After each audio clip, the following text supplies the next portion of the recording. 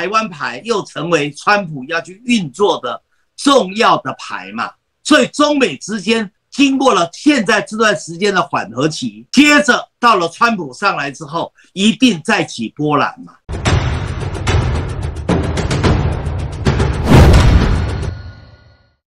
这样有个讲法，就是说这个赖清德还是会有一段时间平静的蜜月期啦，哈。认为说，因为中美会共同管控他，呃，中国大陆看到这一次呢，赖清德得票率只有四成，所以也可以下台阶，没有直接要摊牌的迫切感。那么美国呢，因为也不喜欢赖清德太暴冲嘛，哈，拜登说不支持台独，所以呢，台海危机目前暂时就解除了。老师认同这样的一个讲法吗？我不认同，嗯。我认为台海的危机还在，因为赖清德是个土人，很多人可能用理性的角度去看赖清德。赖清德是一个没有国际视野的土人，也就是说，赖清德基本上，赖清德遇到他可以碾压的、可以蹂躏的。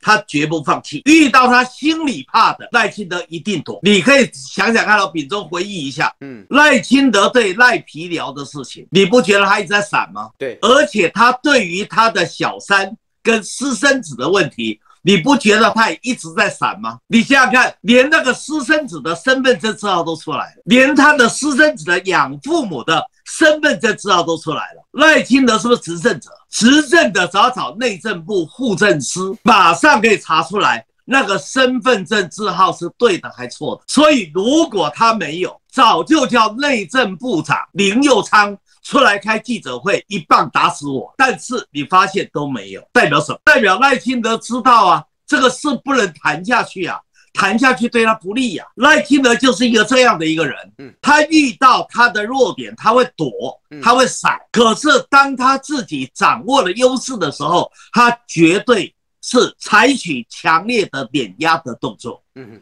这就是赖清德的本性，所以他比蔡英文更加危险。嗯，他会搞不清红线在哪里，他会一下哎，对了，没错，得意忘形，他真的不知道。一句话谈到了要点，嗯嗯嗯，就是说蔡英文是有国际视野的人，嗯，他知道红线在什么地方，嗯嗯嗯，他会小心让自己不要逾越，然后在红线的旁边磨来磨去，对不对？对。但是赖清德根本搞不清楚红线在哪，嗯，所以赖清德是非常危险的，嗯嗯，而且赖清德的意识形态里面。他标准就是个台独者啊，他他的认为台独是应该的，嗯，而且他们的认定是什么？你知道更可笑的，你知道这几天民进党很多人私底下怎么说？他们说哈，反正我们赢了大选，大陆一定会接受现实嘛，因为大陆若不跟现在执政的民进党谈，还要跟谁谈？他们还有这个幻想，你知道吗？嗯，他们认为大陆一定会接受民进党继续连任、继续执政的现实，所以会接受民进党所提出来的和平台独。到现在还有这个幻想，所以你认为赖清德踩红线的可能大不大？大，我认为很大。嗯，但他会有很多误判的可能。对了，对了，是那但是像刚刚老师提到这个，那个苏启不是说大陆既有谈，也可能武吗？那现在我看大陆好像是有两派嘛，或者说大家有不同的猜测。有人认为说是中美现在缓和，所以中国大陆现在认为说赖清德只有四成，因此形势还是不错啊，保持战略定力，继续和平交流，不需要动到说真的武的那那一步。那另外一个讲法是说，可是美国马上十一月要总统大选，那包括川普会不会回来？如果川普现在看起来会是共和党的候选人，那他是不是主张说俄乌冲突要暂告一段落了，不要去管乌克兰了，回头要对付中国了？而且我们看拜登虽然讲不支持台独，可是去年开始他也对台湾做了很多军事部署，包括无偿军援啊。所以未来美台会不会实际上嘴巴说不台独，但是会越来越走向，比如说共同军演啦、各种擦边球啦？那到底大陆是和还是还是武呢？老师怎么看？我我这样说了哈。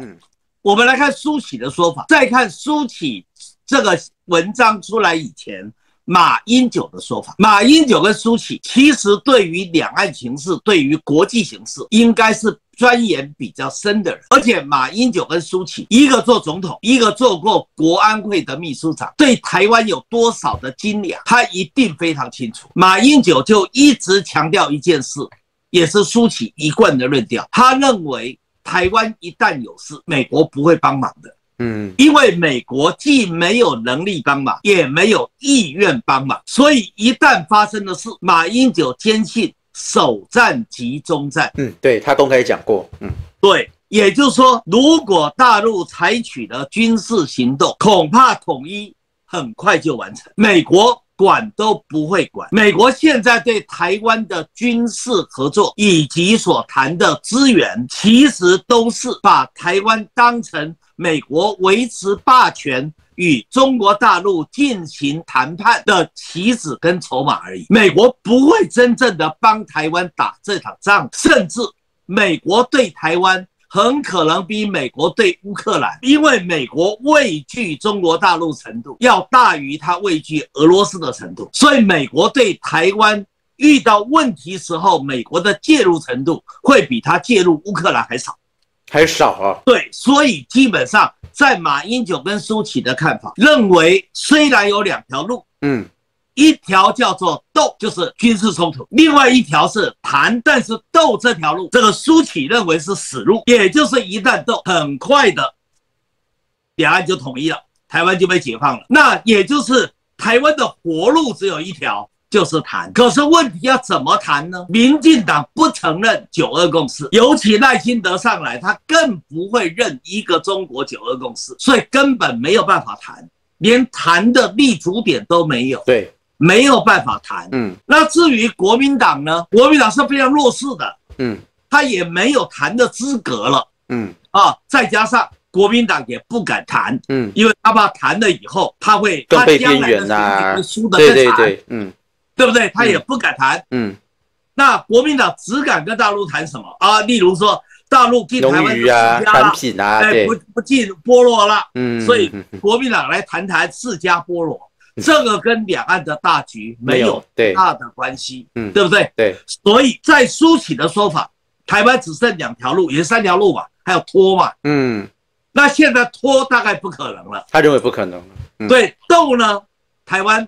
没有本钱，死路一条。嗯，好，你没有能力斗，嗯，而且争斗的时候，美国会置之不理，所以斗这条路是死路。第三条就谈，可是民进党绝对不会谈。对啊，国民党也没能力谈，国民党也没能力谈，对不对？好，所以台湾其实正处在坐困愁城，所以苏启他们很忧心呢。嗯，他绝对不等着就斗了，等着大陆来斗台湾了。对，所以说。目前的情况，嗯，我先谈民进党，先谈到这里。刚刚有提到啊，就是呃，马上哈，十一月美国要总统大选了，那到底这个中美之间的缓和能够拖多久？最终台海问题会不会又成为一个热点？呃，我们讲的所谓呢，当然也希望和平融合。可是如果对大陆来讲，未来美国又要开始走回反华，尤其将来如果川普又回来，那乌克兰战争也会有天告一段落，美国反华之心没有亡。而台湾的台独也继续，那这样下去的话，大陆是不是还是要面对到？除非大陆不同了，否则大陆还是会有压力。而且看情况，川普回国打赢大选的可能性不小。而川普回来之后，川普一定会在中美之间制造了很多问题嘛？对啊。而这时候，台湾牌又成为川普要去运作的重要的牌嘛？嗯。所以中美之间。经过了现在这段时间的缓和期，接着到了川普上来之后，一定再起波澜嘛。嗯嗯嗯，所以我我觉得我们的时间很压力很大，所以我也很急呀。但是我以前不能够讲这么白呀，现在选完了，对不对？嗯，我可以讲的白一点了。我知道很情况很急呀，我们要赶在川普上来之前，我们希望能够塑造一个。两岸可以融合发展的环境，嗯嗯，否则川普一上来，中美关系势必再度紧张化，就跟刚才秉东说的一样是是，但是我们自己先把我们的融合发展的环境做好，